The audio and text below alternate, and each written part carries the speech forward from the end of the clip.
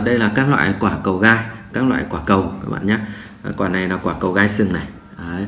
nó có đường kính là 4 cm nặng 23 gram chất liệu là nhựa. Bây giờ sừng thì không có nữa rồi. Đấy, công dụng là lăn vò trong lòng tay tác động đến tim điều trị các bệnh về tim mạch huyết áp tiêu hóa mồ hôi tay có tính dương.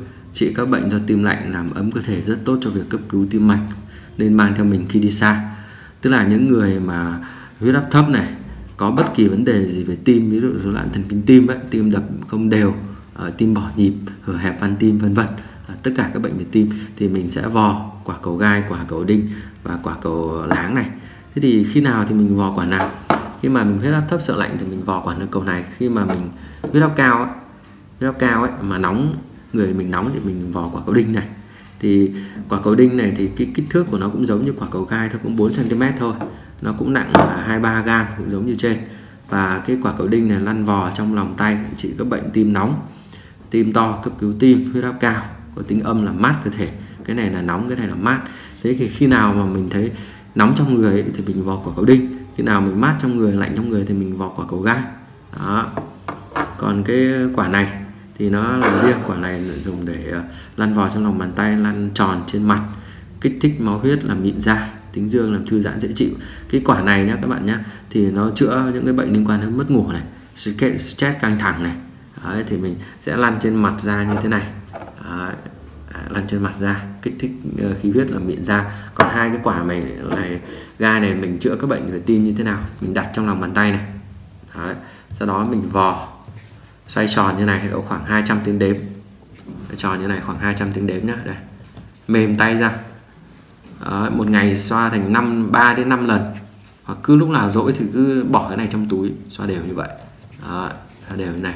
Thì không những nó chữa bệnh về tim mà nó chữa các bệnh liên quan đến tiêu hóa liên quan đến nội tạng nữa. Ví dụ như viêm đại tràng hoặc là hoặc là tiểu đêm vân vân. Thì các bạn cứ xoay tròn này.